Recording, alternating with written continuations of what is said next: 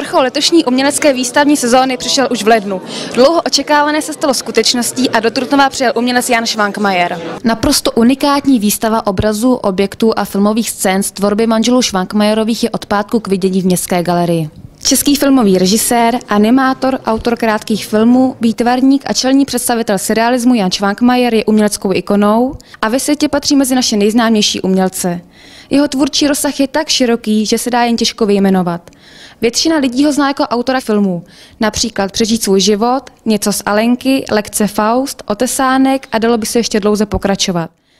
76-letý Švankmajer také spolupracoval na filmech Adéla ještě nevečeřela, Upír Sferatu nebo Tajemství hradu v Karpatech. Aktivní tvůrčí práce a významná ocenění, která autor získal, vyžadují velkou časovou náročnost. Velký podíl na návštěvě Jana Švankmajera má občanské združení Trutnov město Draka, které oslovilo umělcova přítele Martina Stejskala. Díky jeho přímluvě si Jan Švankmajer udělal čas a zavítal na páteční vernisáž do Trutnova. My se známe už od konce 60. let, kdy vlastně jsme spolu byli v surrealistické skupině v Československu a od té doby spolu spolupracujeme.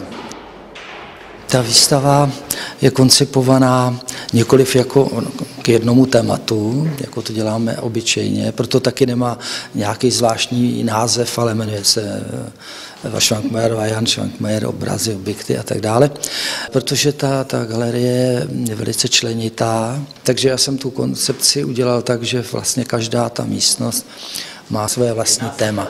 S Janem Švankmajerem přijel i člen surrealistické skupiny Bruno Solařík, který je zároveň i odborníkem na umělcovou tvorbu. Jaká je cesta Jana Švankmajera? Je to cesta, řekl bych, dosti přímá. Je to cesta rovnou od eh, touhy k jejímu naplnění. Přesně tohle je vlastně základem veškerého tvorby. Právě proto se Jan Švankmajer označuje sám za surrealistu. Na jaké objekty byste speciálně upozornil? Vypíchnout jeden, který se týká Evy Švankmajerové. To jsou její kulisy k tomu divadílku. Jedná se hlavně o takové ty zvláštní postavičky eh, sestavené z různých částí a doslova vynikajícím způsobem ukazující tu dětskou imaginaci, jak se může v dospělé podobě vlastně zachovat. V galerii je celá řada fantazijních objektů, které zaujmou svou originalitou a výstředností. Mezi jistě nejznámější díla patří Alchymistická svatba nebo filmový otesánek. Názory na vystavované exponáty byly sice různé, ale obdiv k osobnosti Jana Švankmajera byl vždy stejný. Dnešní stavě asi nejzaujala tohle místnost, kde jsou grafiky a prostroje objekty surrealisticky zachycených objektů a prací. Není to moje krevní skupina, nejsem z toho veselá. Prostě to působí na mě trochu depresivně všecko. To je v současné době největší žijící surrealista český. Žijící umění. Tak Jan Šmakmajer, to jsou především pro mě krásné filmy.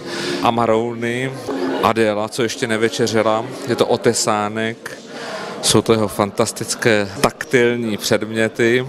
Je to cesta do jiného světa, z vytržení z běžných všedních dní, z toho systému, kterým dnes denně fungují a je to úžasná příležitost přemýšlení.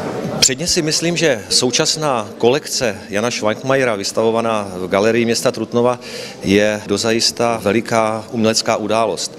Možná bez přehánění eh, největší poválečná umělecká událost pro Trutnov. Tak vysoce hodnotím dnešní výstavu. Pro mě osobně je to takové splnění mého snu. Já jsem už od mládí tvorbu Jana Švankmajera hluboce obdivovala a zabývala se jí a nikdy jsem netušila, že se nám podaří až takhle výjimečná událost, protože je to autor naprosto vytížený. Letošním roce bude vystavovat dvakrát v Japonsku, ve Vídni a mnoha dalších evropských městech, takže to, že přijal nabídku vystavovat Trutnovské galerie, je opravdu výjimečná událost. Součástí výstavy, která potrvá do 12. února, je i zcela ojedinělá možnost zhlédnout celkovou Švankmajerovou filmovou tvorbu, a to v kině Vesmír a Lidové škole umění.